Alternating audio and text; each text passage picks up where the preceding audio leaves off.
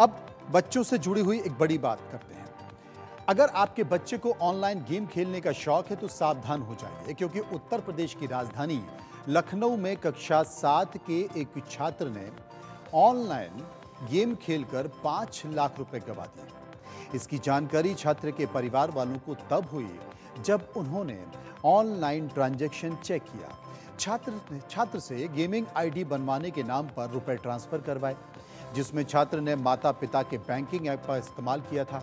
हालाँकि छात्र के पेरेंट्स ने इंदिरा इंदिरा नगर थाने में इस पर एक मुकदमा भी दर्ज करवा दिया, लेकिन प्राप्त जानकारी के मुताबिक लखनऊ के इंदिरा नगर थाने क्षेत्र में रहने वाले नाबालिग एक निजी स्कूल में सातवीं का छात्र है। उसके पिता एक सरकारी विभाग में तैनात हैं।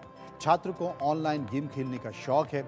माता पिता के मोबाइल के अलावा कंप्यूटर की मदद से भी वो गेम खेला करता था।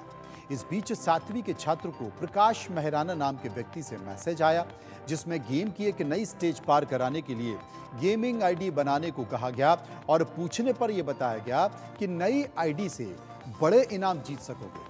प्रकाश के झांसे में फंसकर छात्र ने परिवार को बिना बताए आरोपी के बैंक खाते में रुपए ट्रांसफ़र करने लगा। इसके बाद पेरेंट्स के बैंकिंग ऐप का इस्तेमाल किया।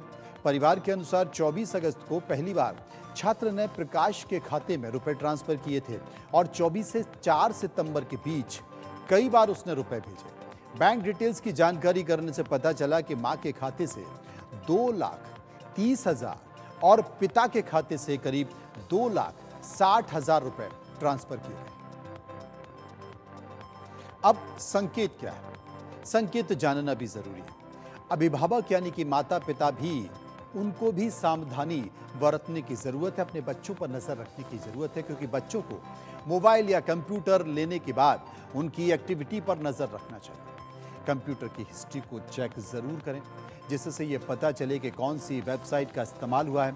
मोबाइल पर बैंक ऐप के बारे में जो जानकारी बच्चों से कभी भी साझा नहीं करनी चाहिए। ऐप को खोलने के लिए बनाया गया पासवर्ड या फिर पिन भी उन्हें नहीं बताना चाहिए। बैंक से आने वाले ट्रांजैक्शन मैसेज पर आपको नज़र ज़रूर रखनी चाहिए और यह भी कम से कम पता रखना चाहिए कि अगर आपका पैसा गया है तो वो गया है। आज के समय में, आज के समय में सेविंग अकाउंट, आज के समय में सेविंग अकाउंट हर किसी के लिए ज़रूरी है। अब तमाम सरकारी योजना